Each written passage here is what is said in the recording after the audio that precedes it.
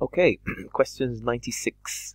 Um, questions 96 to 100. Let's go. So um, the, the, the term gaming here really is literally what it is when we talk about gaming the system or trying to manipulate the system or distort the system in order to gain some kind of strategic benefit. It might be to do to do with the fact that you're trying to. I mean, another term or another process that's part of gaming is this idea of padding. So you're giving yourself some extra leeway. So, for example, you might be asked, how long does it take you to actually do something? You know it actually takes you three hours, but you say it takes you four hours. So you now do it in three and a half, and you look good because you now have a favorable variance. So really, um, this is the answer here is is a it's very much um, knowledge, and you can find all this information in your workbook and workbook three. I'd recommend just take a leisurely, um, have a leisurely sit down, and just read through the, the, the theory there. Okay, great. So here we're just playing around with percentages.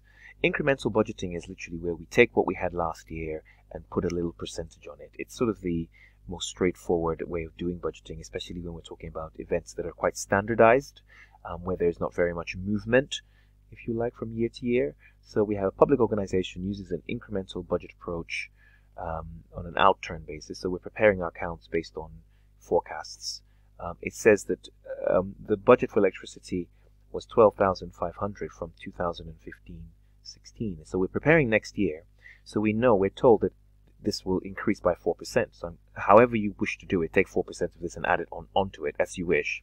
I typically multiply my, mine by 1.04. And then I'm told in addition to this, they have a new office opening and they will also have an, an additional budget of um, they have to pay another thousand pounds. So um, find find 1.04 12,500 times 1.04 12,500 times 1.04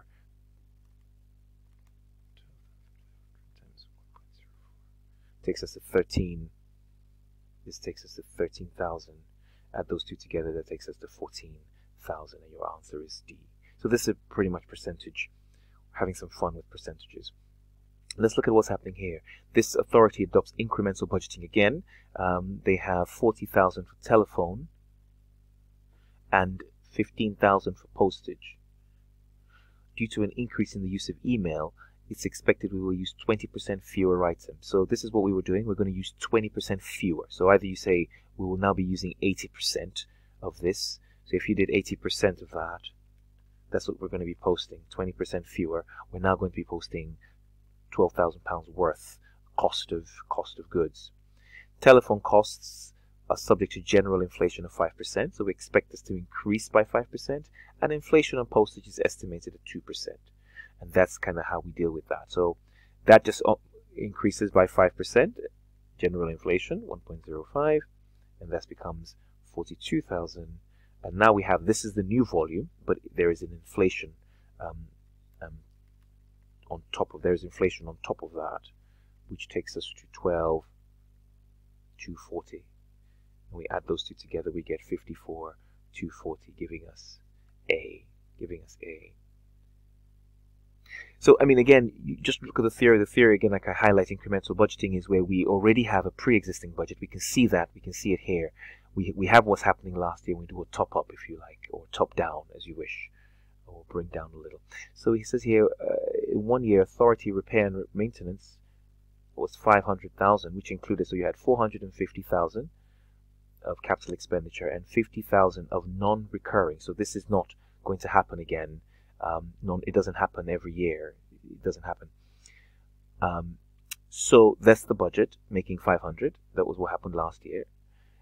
And then recur to means to occur. So this won't happen again. In the following year, it's estimated that a further 25,000 will be required to finish this work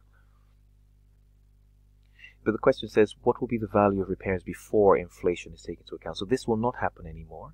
Um, this is what we already have presented for this. So we will now have 450 plus 25, giving 475,000. This is before inflation. So with inflation, you'd have multiplied this by 1.05, but we're told um, that this is, um, well, technically, if it wasn't with inflation, you'd do the 450 times 1.05 and just the 25,000 unless they tell you whether or not that's taken inflation into account. So the answer there would be 475. This is before before inflation. Before inflation. And finally, question 100 in this group here. It's I think it's pretty straightforward as well. Not a bad question. Um, they tell us that this is your current situation. You're making 12 grand based on 60,000 visitors coming in, each spending an average of 20p. Cost of sales is 40% of sales, 40% margin. But things have changed. It's changed now. We expect 80,000 visitors at 18p, which takes us to 14,400. And we're expecting a 40% markup. So 40%, 0.4 times 14,400 takes us to 5. So a cost of sale of 5,760, which brings us back to A as well. So that's question um, 96 to 100. Some nice, uh, I think, straightforward questions on incremental budgeting. Look it up. Incremental budgeting is just we have a budget for last year, and we have we just top up with percentages here or there. We might top down actually, and then deal with inflation once you've adjusted.